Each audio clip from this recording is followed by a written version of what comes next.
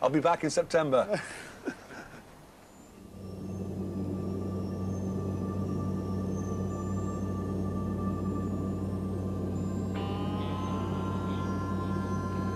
X-ray, Foxtrot Echo. X-ray, Foxtrot Echo, Chile Creek 17. On the other hand, who needs a pool when you've got this? Due east is the ocean and the world famous Great Barrier Reef.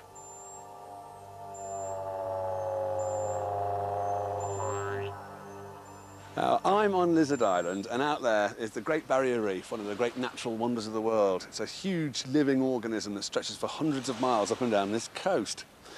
And it's the only living thing that can be seen from space. And when the Olympic torch comes to here, um, you know, on its way to Sydney, it's actually going to go under the water, over the reef. Now, how are they going to do that? How are they going to do that? No one tells me anything. No idea. Do you know how they're going to do that? G'day. That was a real Australian male.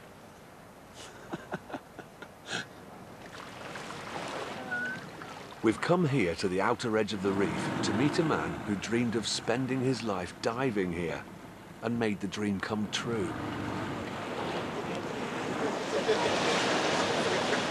How is it amongst the fish? Mike Ball has expanded his diving hobby into a multi-million dollar business catering to thousands of underwater enthusiasts. Sun, sea, and exotic creatures. Uh, this is Mike Ball, and we're in his office.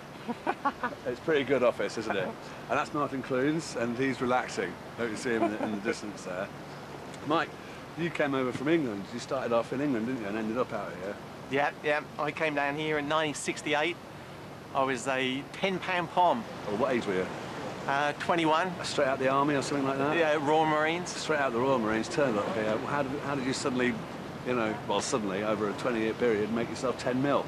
Uh, well, I arrived in Sydney. I was delivering bread for the first six months. I bought this old 1957 Hillman Minx. It cost me 50 pound. So 10 pound pom, this 50 pound bomb, headed to the Great Barrier Reef because that's what my love was to go diving. And um, then I started working in a sports shop, selling diving gear, and then gradually expanded from there. So was there no kind of competition? I mean, there must have been other dive operations set up. No, no, sort of back in those early days, it was, you know, tourism was just not like it is now. I mean, the Great Barrier Reef is world famous and we get thousands of people coming here to dive with me, hopefully. Uh, but back then, there was just, um, you know, it was, there was no real tourism. Yeah. what was that you telling me earlier on about your teachers? though? I mean, I actually haven't had my school report with me. yeah, here. yeah, I know you have. Yeah, yeah. Completely So that, uncontrived um, moment. So I went to school at, um, in Christchurch in Dorset, and I was not really highly thought of in my sort of final years at school. Still in pristine condition. He's really been proud of this book for, for 30 years nearly. You know. As Yeah, you can guess, I never, I never showed this to a, to a prospective employer uh, with comments like, this report represents a serious and inexplicable deterioration of attitude to work and school life generally. And my headmaster said, I have nothing to add to his four master's remarks. His attitude makes a mockery of external examinations. Names. Let's have names of these. Names. these names. two- We've teachers. all suffered from these dwarfs who taught us at school and complained we weren't more like And them. which Let's one of these teachers names. strapped you? On Uh, the ones who whipped Come on. you, we should mark I've them. got a Mr. Hopewell in my background. Told me Yeah, I'd never Mr. make it as an actor. Mr. Bentley, he was mine, he was Who's mine. yours? Names? Uh, Bill Cotton. Bill Cott. Oh, I ran the BBC. Did quite well. In fact, Sorry, sorry, Bill. in fact, the final testimonial for Mr. Cotton was always a difficult boy to understand, blessed with an Sorry, what was all-round, always, Oh, a, yeah. always a difficult boy to understand. Go, mine was, he's a complete tosser, he'll amount to nothing. but it, I don't think it said tosser. Mine said just go.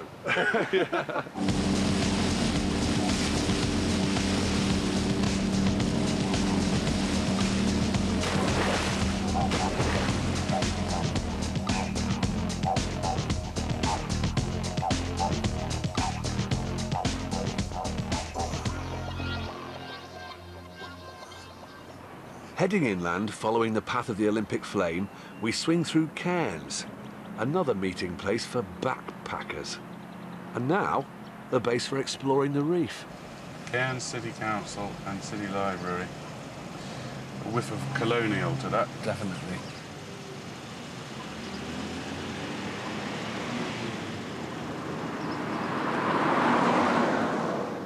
Oh, this doesn't seem right either.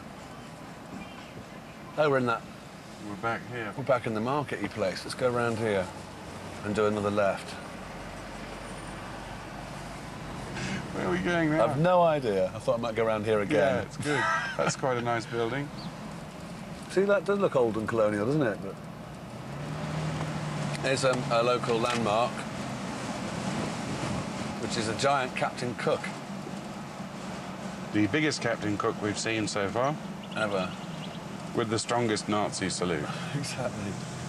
And I was wondering if that's where the sock thing came from over here, because He's only got half can't see him, trousers. He's only got half trousers. In the olden days, they favoured a half trouser. This must be it, I reckon, because they like their shorts and socks over here now. Must be a Well, what they're doing is they're wearing a quarter trouser with a full sock. Thus, they've left some area of vagary in the middle between the, the trouser end and the sock top. You've seen the coppers, the sock brigade. They're, they're not afraid of um, wearing shorts, pulling the socks up to the knee with a nice neat fold over. A lot of the men, I mean, not just the coppers. No, it's yeah. kind of a, Sort an of a- Australian neat person's look.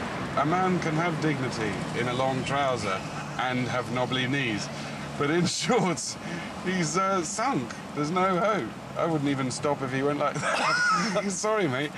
You've got twiglets with socks on. well, he only had short socks, but he was itching them up there. he wanted them as high as possible. They do, don't they? The one just below the knee and Christine White. It's like the trousers on a Frenchman. As they get older, they head higher and higher up to just just above the nipple. Leaving the region's fashion centre, we head to the northernmost tip of Australia, Thursday Island. Few people get up this far. Its culture has more in common with the South Sea Islands than with the mainland.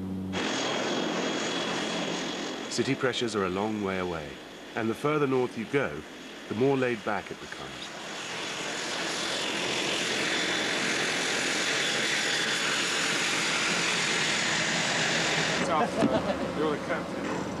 More boats, more blue water, and stacks of luggage.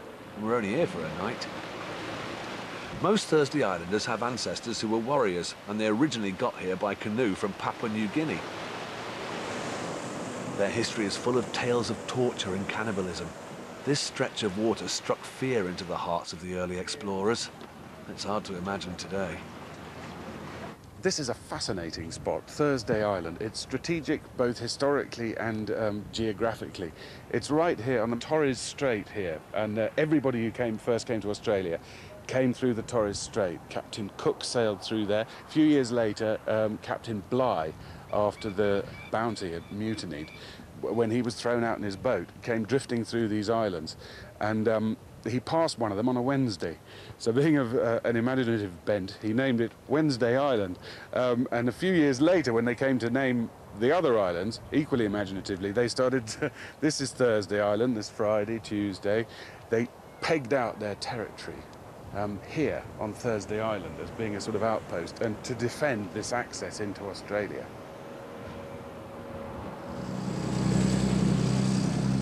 Ted Mosby is a maverick bishop who has split from the mainstream Anglican Church. A daily walkabout is central to his style of ministry. How do you do? John. Nice to meet you. Here poses a, a friendly atmosphere, and I think people here think family. Like when, when people make you friend, you're friend. You know, you people come here as Europeans, they feel sometimes out. They're not part of the scene. I think people welcome them readily, and they become part of the friendliness of the place. This uncle here comes from Boigu. Boigu's one of the islanders. Less than- got the coconut shell. Maroon, you're too friendly. oh, good on you. They told me they're coming down Yes, I saw to it. get your grass skirt on and your coconut shell. Coconut shells here. And I said, oh, I got to think I have big ones. Ma- Marilyn's from Yorke Island. Oh, that explains it. oh, come on, give us a number. What? No. Hey, thank you very much. Great. Hey, what's your Brian? How are you? You know the Great Barrier Reef? This is Martin.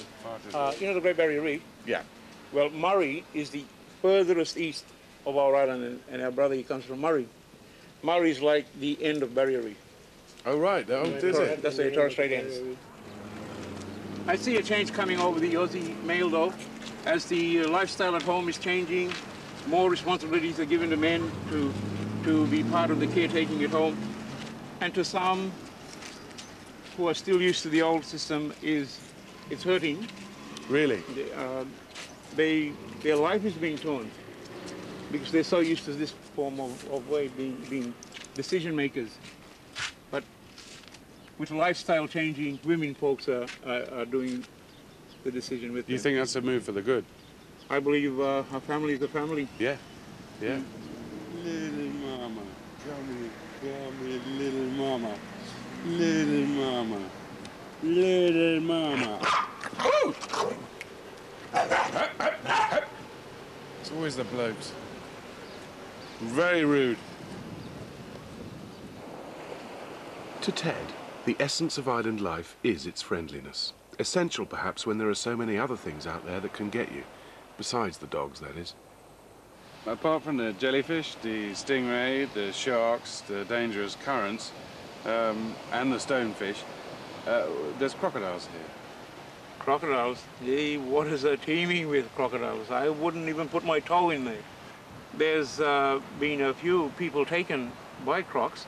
There's uh, one in the hospital right now. Really? I visited him, visited him uh, on Sunday, Sunday afternoon. He What- was a tourist uh, traveling up on, on kayaking canoes, and uh, he went down into the water with knee, knee uh, high, and the croc got him from the back. Did it take his leg? Well, it done a bit of damage to his leg. Didn't take it off though.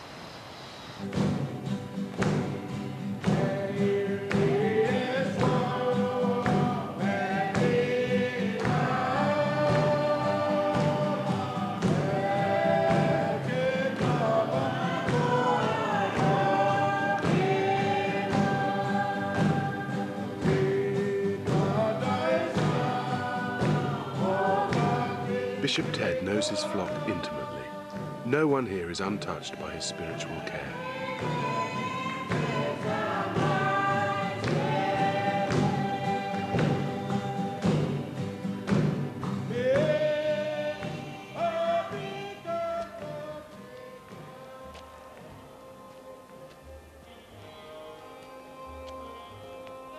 Wafted from the South Pacific to a Harrogate tea dance.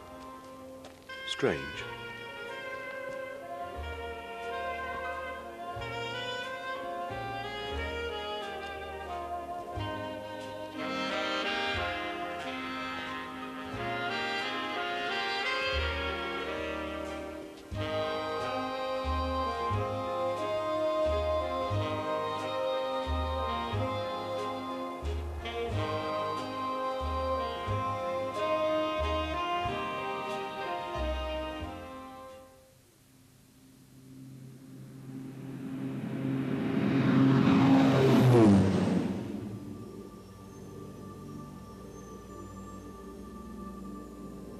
This is a roughhouse town in the middle of nowhere. Flies, dust, and heat that can melt the roads. But there's more to it than meets the eye, literally. The Mount Isa mine is one of Australia's richest, where men go way down under for 12 hot, dark hours at a time. Like other mining towns, Mount Isa is male dominated. Men come here to work for months on end to make fast money for hard labor.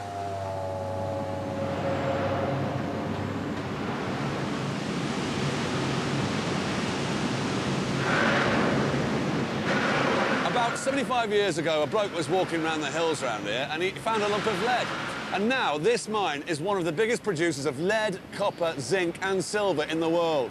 Its deepest mine shaft goes down a mile and its chimney stack is as tall as the Eiffel Tower.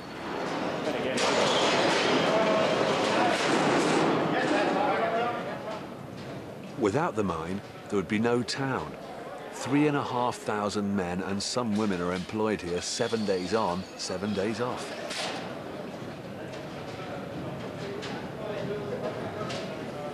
All right, mate? Push up, boys. Yeah, if you push up, uh, they want me to stand here.